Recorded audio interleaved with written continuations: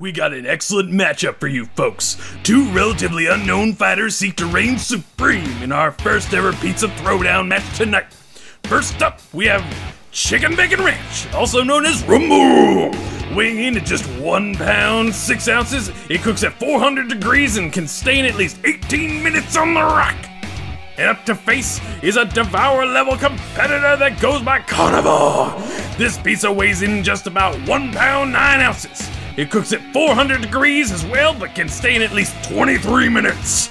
Devour has the weight advantage, but Rumble has a surprise up its sleeve. We're talking about bacon in its crust, and Devour doesn't watch out. It could cause some serious problems. And now for our main event.